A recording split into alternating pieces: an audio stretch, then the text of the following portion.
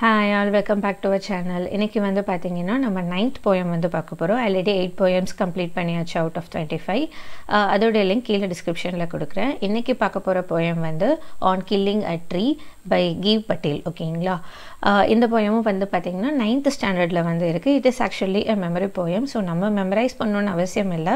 But line by line meaning வந்து கண்டிப்பாக தெரிஞ்சிருக்கணும். ஏன்னா இம்பார்ட்டன்ட் லைன்ஸ் கேட்பாங்க ஃபிகர் ஆஃப் ஸ்பீச் கேட்பாங்க அப்ரிஷியேஷன் கொஷினும் கேட்பாங்க. ஆத்தர்ஸ் நோட்டும் சேர்த்து படிக்கணும் ஓகேங்களா ஓகே இந்த போயம் வந்து எதை பற்றின்னு பார்த்தீங்கன்னா பேர்லேயே தெரிஞ்சிருக்கும். ஆன் கில்லிங் அ ட்ரீ ஒரு மரத்தை வந்து கொள்வது வந்து அந்த ப்ராசஸ் என்ன? அதை கொள்றதுனால அதுக்கு என்ன நடக்குன்றத ரொம்ப சேடாக இந்த போயமில் வந்து ஆத்தர் சொல்லியிருப்பார். ஒரு மெசேஜ் கன்வே பண்ணுற மாதிரி. மரங்களை வந்து அழிக்காதீங்கன்றதை வந்து இன்டைரக்டாக சொல்கிற மாதிரி இந்த போயமில் வந்து சொல்கிறாங்க இதில் எப்படின்னா like about the pain of trees அந்த மரத்தை வெட்டுறதுனால அதுக்கு என்ன பெயின் வரும்? அதை எப்படி பண்ணுறாங்க எப்படி பண்ணணும்? அப்படின்ற மாதிரி கொடுத்துருக்காங்க. ஓகேங்களா ஓகே ஃபர்ஸ்ட் எடுத்துக்கிட்டிங்கன்னா படி படித்து காட்டுறேன். It takes much time to kill a tree not a simple jab of the knife will do it இப்போ என்ன சொல்கிறாங்கன்னா லைக் uh, ரொம்ப டைம் வந்து எடுக்கும். ஒரு மரத்தை வந்து கில் uh, பண்ணுறதுக்கு அப்படின்ற மாதிரி சொல்கிறாங்க not a simple jab of the knife that is ஒரே ஒரு அடி அடித்து நைஃப்பில் இல்லைனா ஆக்ஸில் வந்து அடித்தோம்னா உடனே வந்து அந்த மரத்தை கொல்ல முடியாது. ஒரு சின்ன அடியால் வந்து ஜாப்னா வந்து to poke or thrust abruptly or sharply with a short quick blow டக்குன்னு அடிப்போம் இல்லையா? அதை தான் ஜாப்னு சொல்லுவாங்க. அப்படி ஒரு சிங்கிள் ஜாபால் வந்து பார்த்தீங்கன்னா நைஃப்ன்றது இந்த இடத்துல வந்து ஆக்ஸ் நம்ம கோடாரி மாதிரி யூஸ் பண்ணுவாங்க இல்லையா? அதை தான் சொல்கிறாங்க அந்த மாதிரி ஒரு அடியில் வந்து ஒரு ட்ரீயை வந்து கில் பண்ண முடியாது. It will take much time that is நிறைய டைம் வந்து இது எடுக்கும் அப்படின்ற மாதிரி சொல்கிறாங்க it has grown slowly consuming the earth rising out of it feeding up its upon its crust absorbing years of sunlight air water and out of its leprous hide sprouting லீவ்ஸ்னு சொல்கிறாங்க இதில் என்னென்னா it has grown slowly consuming the earth உங்கள் எல்லாருக்குமே தெரியும் ஒரு செடின்றது சீக்கிரம் வளர்ந்துரும் மரம்ன்றது பார்த்திங்கன்னா it will consume more time right so இடத்துல வந்து ரொம்ப டைம் கன்சியூம் பண்ணி இது வந்து வளர்ந்துருக்கும் ரைசிங் அவுட் ஆஃப் ஃபிட்னு சொல்கிறாங்க அண்ட் ஃபீடிங் அப்பான் இட்ஸ் க்ரஸ்ட்ன்றது வந்து க்ரஸ்ட்னா என்ன சொல்கிறாங்கன்னா எர்த்தை தான் சொல்கிறாங்க நம்ம தெரியும் இல்லையா? எர்த்துக்குள்ளே தான் க்ரஸ்ட் மேண்டல் கோருன்ற ஆப்ஷன் இருக்குது அந்த க்ரஸ்ட்டுன்றது லைக் ஆப்பிளில் இருக்க தோல் மாதிரி இருக்க ஒரு ஏரியாவை தான் க்ரஸ்ட்டுன்னு சொல்லுவாங்க எர்த்தில். அந்த மாதிரி க்ரஸ்ட்டில் இருந்து அதை வந்து ஃபீட் பண்ணி அதுக்கு தேவையான நியூட்ரியன்ஸ் எல்லாம் எடுத்து அது வளர்ந்துருக்கும் இல்லையா? அதை தான் சொல்கிறாங்க அப்சர்விங் இயர்ஸ் ஆஃப் சன்லைட்டை ரொம்ப வருஷமாக வந்து சன்லைட் எல்லாம் எடுத்திருக்கோம். ஏர் எடுத்திருக்கோம். வாட்டர் எடுத்திருக்கோம். And out of its leprous hide sprouting லீவ்ஸ்னு சொல்கிறாங்க இது எப்படி இருக்கும்னு சொல்கிறாங்கன்னா லெப்பரஸ் ஹைட் மாதிரி இருக்குன்றாங்க லெப்பரஸ்ன்றது வந்து கவர்டு வித் ஸ்கேல்ஸ் இங்கே கொடுத்துருக்க மீனிங் ஆனால் பேசிக்காக என்ன சொல்லுவோம்னா இந்த லெப்ரஸி வந்தவங்கன்ற மாதிரி சொல்லுவோம் இல்லையா? அதுவும் வந்து லெப்பரஸ்னு சொல்லுவாங்க. It is a kind of ஒரு அப்ஜெக்டிவ் தான். இந்த இடத்துல அந்த ஒரு சொறி சொறியாக இருக்கும் இல்லையா? அதை வந்து லெப்பரஸ்னு சொல்கிறாங்க அதாவது ஸ்கேலால் கவர் ஆகியிருக்குன்னு சொல்கிறாங்க ஹைடுன்றது வந்து பார்த்திங்கன்னா நம்ம நமக்கு தெரிஞ்ச ஹைடு மறைஞ்சிக்கிறதுன்ற மாதிரி கிடையாது. இந்த லெதரில் வந்து ஹைடுன்னு சொல்லுவாங்க தெரியுங்களா? ஒரு திக்கான தோல். லைக் இந்த ஷூஸ் எல்லாமே செஞ்சுருக்கிறது எல்லாமே ஹைடுன்னு தான் சொல்லுவாங்க. ஃபஸ்ட்டு அந்த ஸ்கின்னை வந்து பீல் பண்ணி எடுக்கும்போது ஹைடு கிடைக்கும். அதை ப்ராசஸ் பண்ணுறப்போ தான் நமக்கு அந்த லெதர்ன்ற ப்ராடக்ட்டே கிடைக்கும். அந்த ஹைடை தான் சொல்கிறாங்க இந்த ஸ்ட்ராங் திக் அவுட்டர் ஸ்கின்னு தான் வந்து ஹைடுன்னு சொல்கிறாங்க ஸோ என்ன சொல்ல வராங்க? ஒரு ட்ரீயை வந்து கில் பண்ணுறது அவ்வளோ ஈஸி கிடையாது. ஒரு சிம்பிளான ஒரு அடி அடிக்கிறதால அது வந்து கில் பண்ண முடியாது. இது வந்து ரொம்ப டைம் எடுத்து ஸ்லோவாக வந்து இடத்துல வந்து டெவலப் ஆகிருக்கும் க்ரஸ்டில் இருந்து அதுக்கு தேவையான நியூட்ரியன்ஸ் தட் இஸ் இடத்துல இருந்து எடுத்திருக்கும்.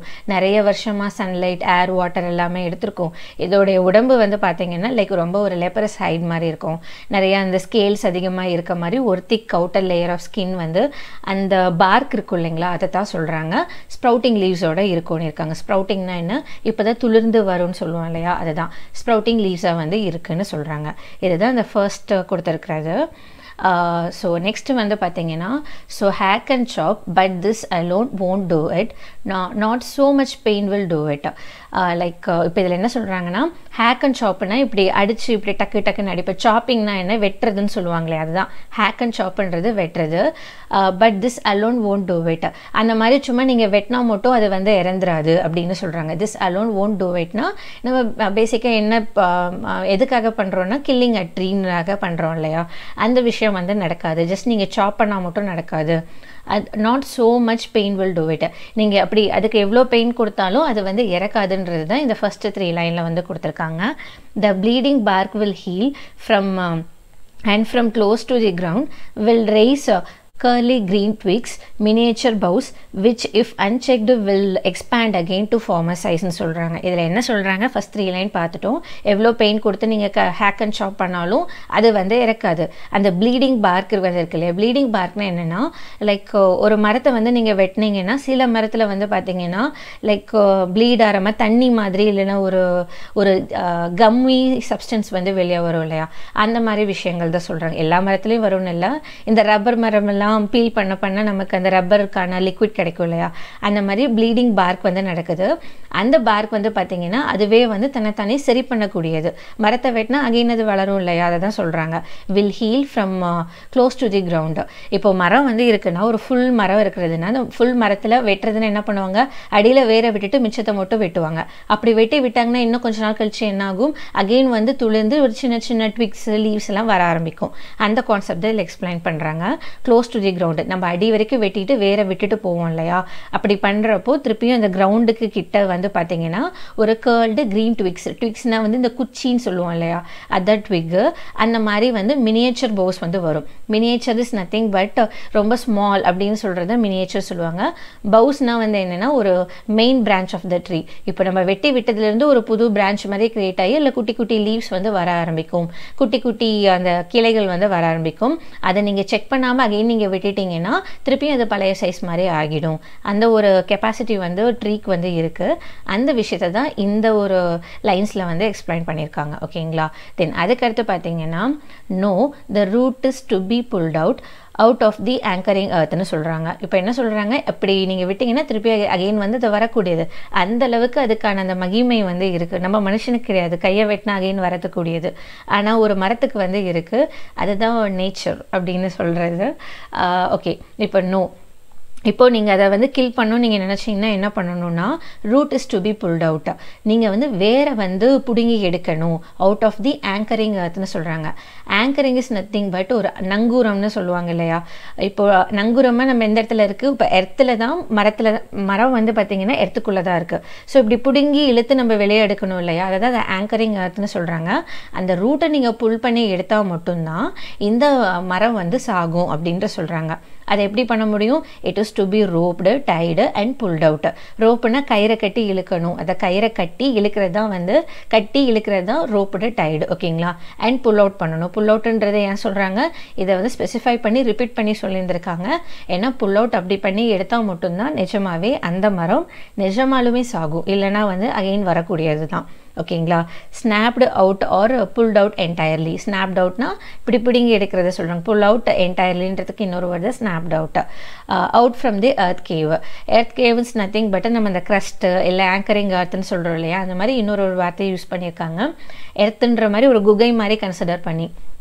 மண்ணுக்கு கீழே தானே இருக்குது ஸோ அதிலிருந்து நம்ம பிடுங்கி எடுக்கிறது தான் வந்து அப்படி சொல்கிறாங்க and the strength of the tree exposed the source white and wet the most sensitive hidden for years inside the எர்த்னு சொல்கிறாங்க இப்போ என்ன சொல்கிறாங்கன்னா இப்போ அந்த எர்த்து கேவ்லேருந்து லைக் இப்படி புல் அவுட் பண்ணி எடுக்கும் போது அந்த ட்ரீயோடைய அந்த ரூட் போட்டோ பார்ட் வந்து இருக்கும் இல்லைங்களா? அது வந்து எக்ஸ்போஸ் ஆகுது. ஸ்ட்ரென்த் ஆஃப் த ட்ரீ வந்து எக்ஸ்போஸ் ஆகுது அப்படிங்கிறத சொல்கிறாங்க அந்த ஸ்ட்ரென்த் இஸ் நத்திங் பட் அந்த ரூட் எக்ஸ்போஸ் ஆகுது.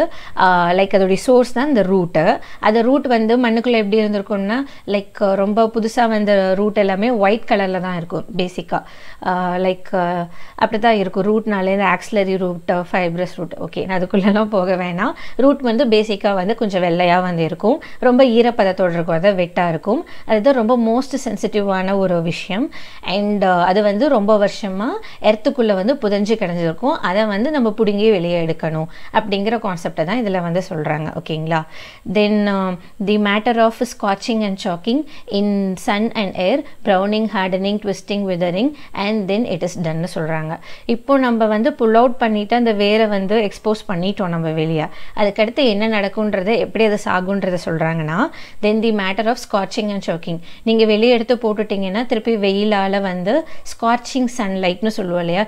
சுட்டெரிக்கிற வெயில் அது ஸ்கார்ச்சிங் இது சன்னில் வந்து ஸ்கார்ச்சிங் ஆகும் ஏரில் வந்து சாக்கிங் ஆகும். ஏன்னா அதனால் வேற பிடுங்கி எடுத்ததுனால மூச்சு விட முடியாமல் கஷ்டப்படுன்றத சாக்கிங்னு சொல்கிறாங்க அது மட்டும் இல்லாமல் அப்படியே நம்ம வெளியே விட விட என்னாகும் காஞ்சி போயிடும். ப்ரௌனிங் ஆகிடும் காஞ்சி போய் கொஞ்சம் சாஃப்டாக இருந்த மரம் வந்து கல் மாதிரி ஹார்டன் ஆகிடும் அப்படின்னு சொல்கிறாங்க அந்த இப்படி புல்லோட் பண்ணி எடுக்கிறனால இது வளைஞ்சிரும்னு சொல்கிறாங்க ட்விஸ்டிங் பேசிக்காக இது எல்லாமே என்ன சொல்ல வராங்கன்னா அது இறந்து போகுன்றதுக்கான ஒரு இண்டிகேஷனாக சொல்கிறாங்க அண்ட் ஆல்சோ இலைங்க எல்லாம் விழுந்துரும். அதை விதரிங்னு சொல்லுவாங்க. அண்ட் தென் இட் இஸ் டன்னு சொல்லி ரொம்ப சோகமாக வந்து ஆக்சுவலி இந்த ஆத்தர் முடிக்கிறாரு. ஏன்னா இவ்வளோ கஷ்டப்பட்டு இவ்வளோ கஷ்டப்படுத்தி தான் இந்த மாதிரி ஒரு ட்ரீயை வந்து நம்ம கொள்கிறோன்னு சீரியஸாங்க எனக்கு போகிற வழியில் யாராவது மரத்தை விட்டுடுறது பார்த்தாலே என்னால் ரொம்ப எனக்கு கஷ்டமாக இருக்கும். Basically I am an agri graduate though எனக்கு ரொம்ப நேச்சருக்குள்ளே நான் போகலனாலும் எனக்கு மரத்தை வெட்டுறதை பார்த்தாலும் ரொம்ப சங்கடமாக இருக்கும். அந்த ஒரு விஷயத்த ரொம்ப கவலைப்பட்டு ஆத்தர் வந்து இந்த இதில் வந்து சொல்லியிருக்காரு ஓகேங்களா? இது தான் என்டையர் போயம் இப்படி தான் இவ்வளோ விஷயங்கள் செஞ்சால் தான் ஒரு ட்ரீயை வந்து கட் பண்ண முடியும் கில் பண்ண முடியுன்றதை வந்து கீவ் பட்டேல் வந்து சொல்லியிருக்காரு ஓகேங்களா? ஓகே இது அதுக்கு அடுத்து அவரை பற்றி பார்த்துடலாம் கீவ் பட்டேல் வந்து பார்த்தீங்கன்னா actually he is a doctor doctor Gieve Patel வந்து பார்த்தீங்கன்னா one of the prominent Indian poet அதனால் Indian போயட்னால we have to give more importance question கேட்க சான்ஸ் அதிகம். அவருடைய ஃபேமஸ் ஒர்க் வந்து பார்த்தீங்கன்னா ஈவினிங்னு ஒன்று எழுதியிருக்காரு. ஃபாரன்சிக் மெடிசன் எழுதியிருக்காரு. ஃப்ரம் பாம்பே சென்ட்ரல்னு சொல்லி ஒன்று எழுதியிருக்காரு. இது மட்டும் இல்லாமல் சில பிளேஸ் எழுதியிருக்காரு. மூணு பிளேஸ் பிளேஸ்னு என்னென்னா ட்ராமா மாதிரி. அதை பென் பண்ணியிருக்காரு. பென் இஸ் நத்திங் பட் எழுதியிருக்காரு. அதை சொல்கிறாங்க மூணு பிளேஸ் வந்து எழுதியிருக்காரு. அது மட்டும் இல்லாமல் ரிஷி வேலி ஸ்கூலுன்ற ஸ்கூலில் வந்து பத்து வருஷத்துக்கும் மேலே ஒரு டிகேட்னா பத்து வருஷம். மோர் தென் அ டிகேட் வந்து பார்த்தீங்கன்னா போய்ட்ரி ஒர்க் ஷாப் வந்து கண்டக்ட் பண்ணியிருக்காரு. இது என்னென்னா ரிஷி வேலி ஸ்கூலில் பத்து வருஷத்துக்கும் மேலே போயம் எப்படி எழுதணுன்றதுக்கான ஒர்க் ஷாப்னா லைக் ஒரு கிளாஸஸ் மாதிரி கண்டக்ட் பண்ணியிருக்காரு. ஓகேங்களா? அப்புறம் இந்த போயம் வந்து எங்கேருந்து எடுத்திருக்காங்கன்னா actually it is a poetry collection Gieve பட்டேலுடைய ஒரு போய்ட்ரி கலெக்ஷனுடைய பேர் போயம்ஸ்னு வச்சுருக்காரு. ஆக்சுவலி நம்ம போயம்னு சொல்கிறதே இது தப்பு. போம் போம்னு தான் சொல்லணும்.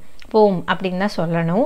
பட் நம்ம அது சொல்ல இன்டிஃப்ரெண்ட்டாக அது இருக்குன்றனால அதை நான் சொல்கிறது இல்லை போயம்ஸ்னே சொல்கிறேன் இது வந்து நைன்டீன் சிக்ஸ்டி சிக்ஸில் வந்து பப்ளிஷ் பண்ணியிருக்காங்க.